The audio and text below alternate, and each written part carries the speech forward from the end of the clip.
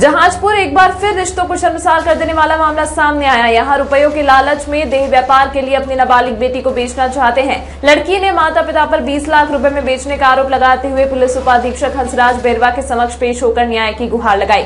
एक तरफ़ बेटी बचाओ, बेटी पढ़ाओ का नारा दिया जाता है, लेकिन क्षेत्र के ग्रामीण इलाकों में नाबालिग बेटियों को अंधाधुंध सौदा किया जा रहा है। बेटियों की सरेआम बोलियाँ लगाई जा रही हैं। चंद रुपयों के खातिर लोग अपनी बेटियों को बेच रहे हैं। उपखंड क्षेत्र के ग्रामीण इलाके में रहने वाली एक लड़की ने अपने माता पिता पर वेश्यावृत्ति के लिए 20 लाख रुपए में बेचने का आरोप लगाते हुए पुलिस की शरण ली। लड़की ने कहा की मेरे माता पिता मुझे वेश्यावृत्ति के लिए 20 लाख रुपए में ग्वालियर बेचना चाहते हैं, लेकिन मैं शादी करके अपना घर बसाना चाहती हूँ। अपने माता पिता के खिलाफ अपनी सुरक्षा के लिए पुलिस प्रशासन से गुहार लगाई है। गौरतलब है कि उपखंड क्षेत्र में पूर्व में भी ऐसे कई मामले सामने आ चुके हैं।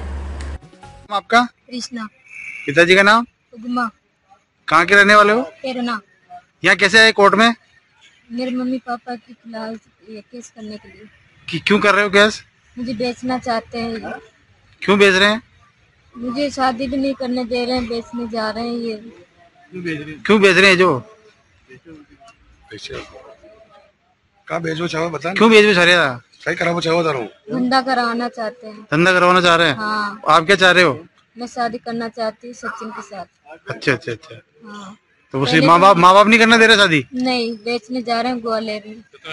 कितने में बेच रहे हैं? पंद्रह बीस लाख रुपये। चलो ठीक है।